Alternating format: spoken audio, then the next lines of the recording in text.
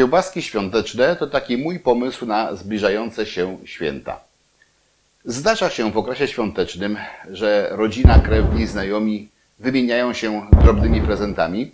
W mojej opinii najlepszym takim prezentem jest właśnie dzieło rąk własnych. Obojętnie czym tam się zajmujemy, co tworzymy, to nawet jeżeli to będzie bardzo, bardzo skromne dziełko wręcz rąk własnych, to dla mnie ono jest zawsze bardzo cenne i takim dziełkiem ja też staram się w drugą stronę odwdzięczyć. Tutaj mam 10 kg mięsiwa, więc dość sporo, bo przeznaczenie oczywiście nie tylko takie jako drobny suwenir, ale także jako normalna kiełbaska konsumpcyjna i to na okazję, gdzie biesiadników będzie sporo. Więc 10 kg mięsa. No i po kolei. 2 kg wołowiny. Tu jest łopatka wołowa akurat. Yy, podgardle i golonka również łącznie 2 kg po około kilogramie. Przy czym golonka mm, już tyle waży po wycięciu kości, yy, a kość już się od dawna yy, gotuje po to, żeby zrobić z niej wywar, ponieważ ogólnie do kiełbasy będę dodawał przecież jakąś wodę, to zamiast czystej wody to dodam właśnie wywar z kości. Zawsze to jest lepsze. Podgardle te, które mam, to też nie takie znowu tłuste, bardzo ładne, chudziutkie podgardle i takie też powinno być. Resztę, czyli około 6 kg, to jest łopatka wieprzowa. Tok postępowania. Najpierw mielenie. Y, w maszynce oczko najdrobniejsze, 2,7 mm, przygotowane oczko ósemka i przygotowany też szarpak na tym najdrobniejszym oczku. Zacznę od golonki. Golonka jest ze skórą, więc golonkę zmielę dwa razy. Raz, potem drugi raz, a potem już po razie na tych oczkach podgardle i wołowinę. To będzie etap pierwszy. Wrzucę do większej michy, wszystko po kolei. Zajmę się łopatką. Z łopatki poodkrawam jeszcze te najtłustsze kawałki. Też je przemielę na najdrobniejszych oczkach. Resztę podzielę na dwie części i jedną część przemielę na oczku numer 8, a drugie na szarpaku. Jeżeli nie ma szarpaka, można kroić w taką kostkę około 1 cm. Jak te mięsiwa będę miał pomielone, to przyjdzie czas na przyprawianie. Działam.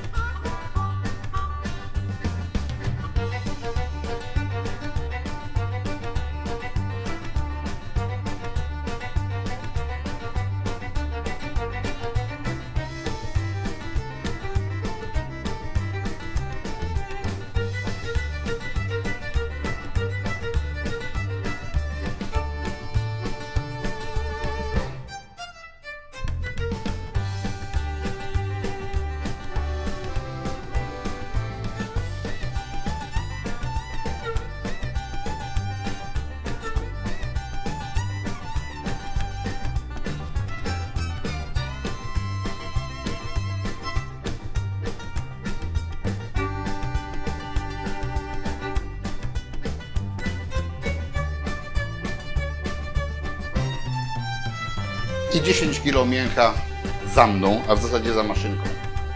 Teraz muszę troszeczkę tutaj posprzątać, przygotować przyprawy i przygotować się też do wyrabiania.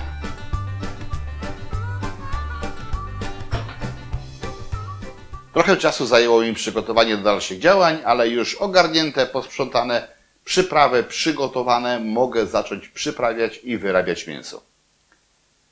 Sól. U mnie sól zwykła i sól peklująca, mieszanina 50 na 50, ale możecie zastosować albo samą zwykłą, albo samą peklującą. To zależy od Was. E, po 17 gramów na kilogram, czyli 170 gramów około mam tutaj. Do tego jest dobre półtorej łyżeczki cukru.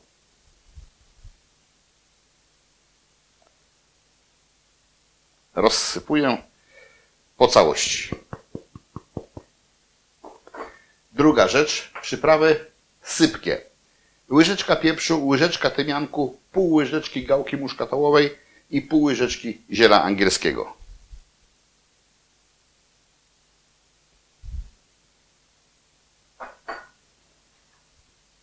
Pozostałe przyprawy muszę w jakiś sposób jeszcze zagospodarować. Dosłownie kilka goździków. Z pół łyżeczki ziaren jałowca i tyleż samo rozmarynu. To zmielę.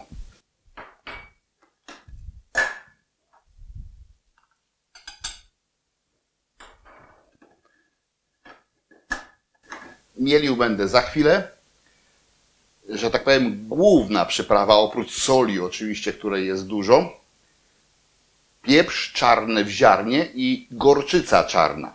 Po dwie porządne łyżeczki. Będę to nie mielił, tylko tłukł. Do tego mam młotek, woreczek, zaraz wsypię i lekko to rozkruszę i w takiej formie rozkruszonej do mięsa dodam. Chodzi mi o to, żeby były te wyraźne wtręty zarówno czarnej gorczycy, która ma bardzo charakterystyczny i intensywny smak, i pieprzu. I to będzie ten taki pazur tej kiełbasy. Do tego oczywiście czosnek, ile kto lubi. Ja mam około 6 ząbków. Przez wyciskacz przepchnę i dorzucę do mięsa. Zacznę to wyrabiać. Przepraszam. Zacznę to wyrabiać. Potem na pewno będzie potrzeba dodać tutaj płynu. Na tą ilość mięsa powinno być około litra. Ja mam, jak wspominałem, mam przygotowany bulion zrobiony na właściwie wywar, nie bulion, wywar z kości golonki i ten wywar ostudzony dodawał będę. W takiej ilości, w jakiej mięso przyjmie, jak przyjmie litr, to wleję litr. Działam.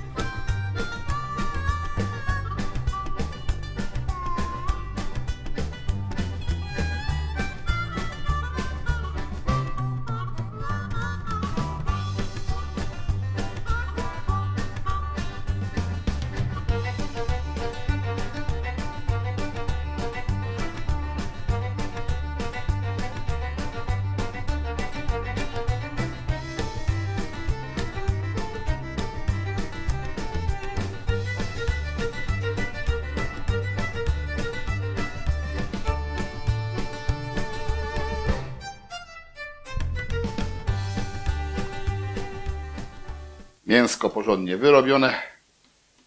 Takie 20-30 minut wyrabiania naprawdę potrafi dać w kości siłownia niepotrzebna. Co dalej? Muszę trochę ogarnąć, zrobić dużo więcej miejsca na stole, przygotować nadziewarkę i od razu będę to mięsko wielita wieprzowe nadziewał.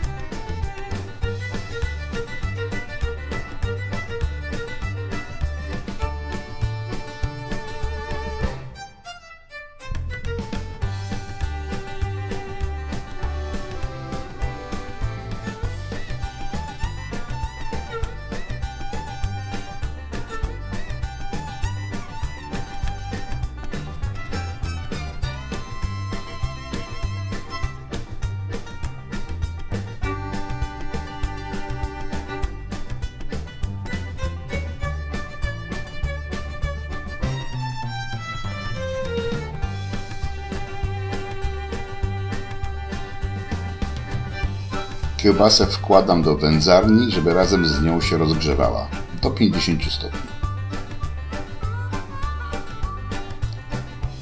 Po godzinie kiełbasa jest bardzo ładnie podsuszona. Pozostawiam tą temperaturę i uruchamiam generator dymu.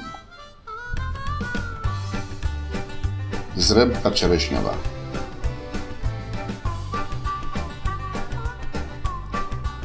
Po dwóch godzinach wędzenia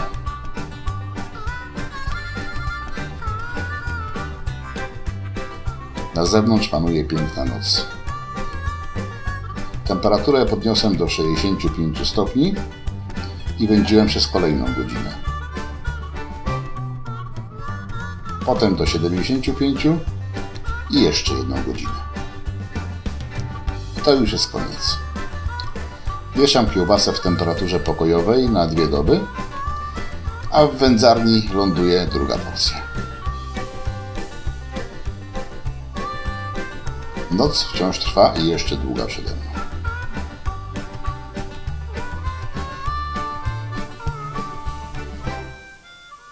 Moje łańcuchy świąteczne w zasadzie już są gotowe. Jeszcze mogą góra tydzień powisieć, ale potem byłyby już za bardzo suche, więc zostaną teraz zapakowane próżniowo, a potem rozpakowane i jeszcze kilka dni po rozpakowaniu odpoczną po to, żeby odzyskać tą swoją jędrność, bo zawsze ta wilgoć się troszeczkę bardziej rozkłada w zapakowaniu i potem należy je tak delikatnie jeszcze podsuszyć. Oczywiście wisiały będą w chłodzie, żeby na wiór nie wyschły, bo nie o to chodzi. Jedyne, co mogę teraz zrobić, to spróbować. Tak też będę postępował. Gdzie tu jest? O, tu jest jakaś końcówka. Odciąć. Tak też będę postępował, jak już będą wisiały i ozdabiały świątecznie mój dom. I jak trzeba będzie kogoś poczęstować, to się wręczy nóż, proszę bierz, albo odkroi i obdaruje. To już zależy od sytuacji. Pięknie wędzonko pachną. Może tak bliżej, o. Tak to wygląda. Zajrzyjmy do środka.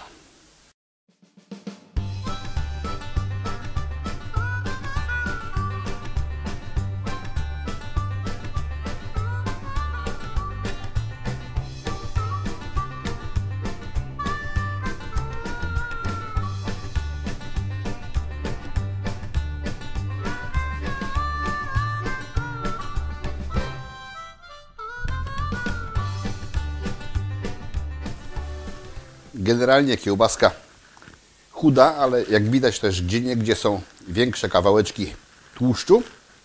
No i teraz czas na degustację. Uwielbiam ten zapach. Mm. Fajna, porządnie podsuszona kiełbaska domowa. Mm. I ten charakterek. Ona generalnie w tle zbyt taka ostra nie jest, ale te kawałki gorczycy i kawałki pieprzu tłuczonego punktowo się trafiają i czynią naprawdę zadziorną tą kiełbasę. Można to zrobić bardziej, można zrobić mniej, to już Wasz wybór. Ale ma charakter i jest pyszna. Jeszcze kawałeczek. Mm mikrochutka i spójna. Nachwalić się nie mogę. Wyszła bardzo dobrze. Polecam tego typu, mm, że tak powiem, świąteczne zachowania, czyli przygotowywać dzieła rąk własnych, wręczać swoim bliskim, bo lepszego prezentu według mnie oczywiście być nie może. Szczególnie sobie cenię to, co ludzie wykonali własnymi rękoma. Zapraszam na kolejne odcinki. Zapraszam do subskrypcji kanału. Kliknijcie także w ten dzwoneczek, żeby otrzymywać powiadomienia o kolejnych odcinkach. 10 kg kiełbasy wysuszonej, oczywiście 10 kg mięsa pierwotnego. Tak wygląda po wysuszeniu No może tu trzech pętek nie ma, bo oczywiście po drodze też musiałem spróbować. Na razie.